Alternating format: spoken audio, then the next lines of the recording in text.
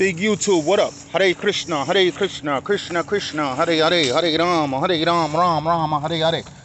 I think this is my first video no, this ain't my first video of 2021. But this is like the first video I've done in a while. It's my first video on a new phone though. I hope it works out for y'all. Just want to share a quick thought.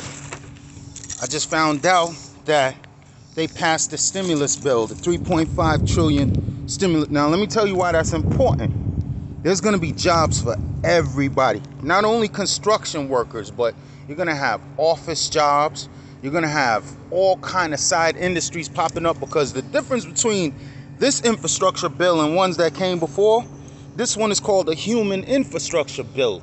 So what they want to do like you remember in the 90s you remember in the late 80s and in the 90s there were social programs. You could go get a free class and learn microsoft word and increase your job skills, whether you were working or not. Those days are coming back. You're gonna see all kind of social programs popping up.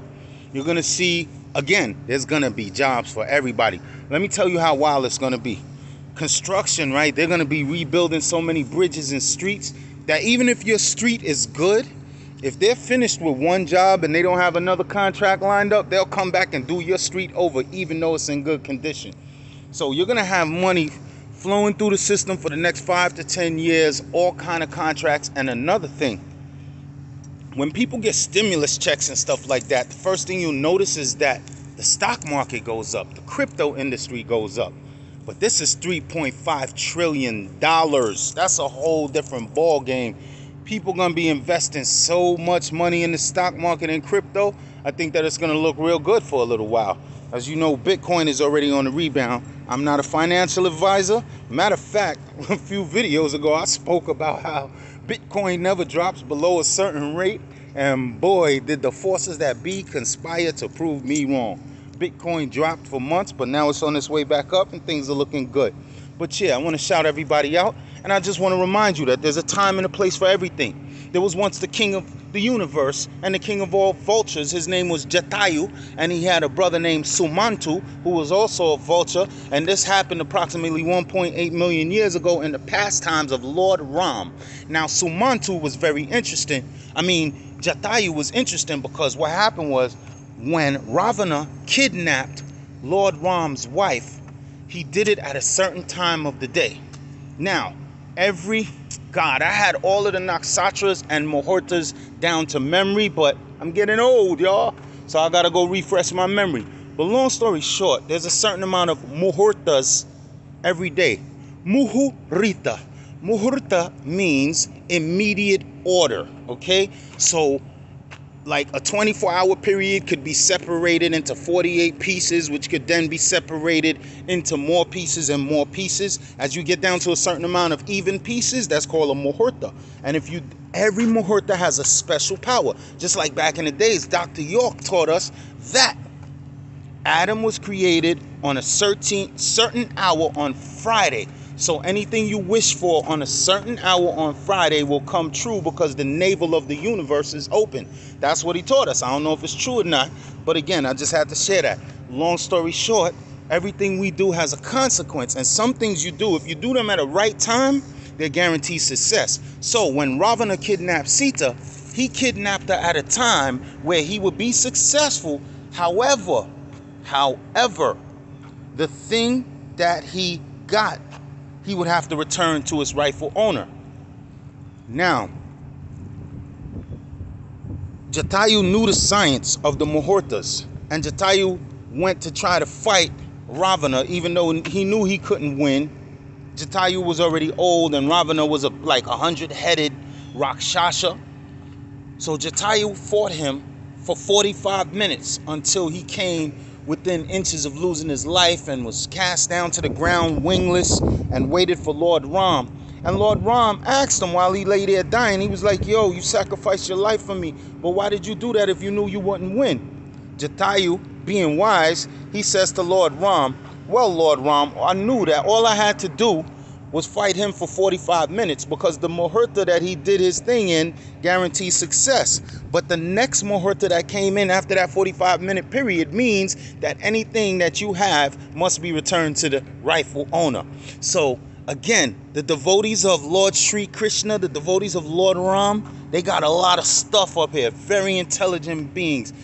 So basically, you have to know the times. You got to know the right time to sleep, eat, mate, defend.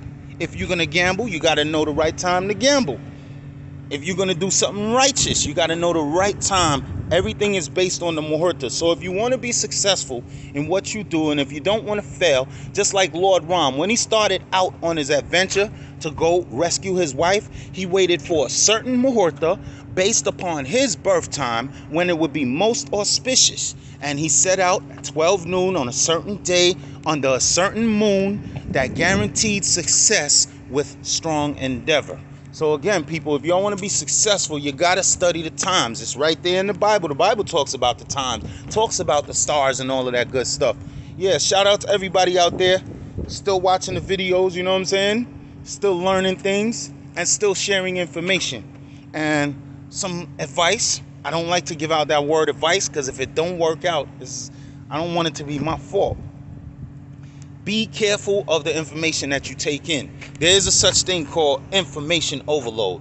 And the spirit of Kali, who's the zeitgeist of this age, specifically had a meeting with Lord Vishnu, and he told Lord Vishnu, I'm going to cut off all knowledge in the age of Kali Yuga. All, all human beings won't have no knowledge. Lord Vishnu said, if you really want to be successful in your evil mission, you need to saturate the people with knowledge. Give them all the knowledge and more than they could handle. And that's exactly what we have now. We have a misinformation campaign. You got half of America believing one thing, half of America not believing it. And it's like a house divided can't stand. America is divided and she's falling down. There's tent cities. If you go to LA, my son just went to LA to the Dodgers game and all of that. And his mother told me, yo, she said homelessness is bad. And I'm thinking about homelessness like from a New York perspective, but she was like, no, homelessness is bad out in LA. So yeah, America is crumbling in some ways. And I, I would just suggest that you do your inner work, build up your spirit, get it popping, get all of the good things going in your life especially on the spiritual platform, because again, there's no guarantee we'll be here in five minutes. You know what I'm saying?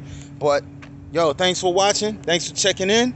And I hope you enjoyed this video and that you learned something very important. Study the Ramayana. Another thing, learn your diacritics, learn your accents, because when an Indian, a native speaking Indian, comes to America and learns English, they'll say things like, um, you know the word choreography, right? they'll say things like choreography or Jamaicans. They'll say instead of certificate, what's the word? My grandmother used to say it, oh God. they don't say certificate normally. but I say that accents are everything. So it's Ramayana, not Ramayana. You can change the meaning of a word if you put the wrong accent in the wrong place. You know what I'm saying? So, hey, be blessed, everybody. Hare Krishna, Hare Krishna, Krishna Krishna, Hare Hare, Hare Rama, Hare Rama, Rama Rama, Hare Hare. And remember, I'm just as happy to see you as you are to see me. Hit that like button, I subscribe, but most importantly, comment. It's your thoughts that let me get an accurate gauge on where everybody's at. Hurry.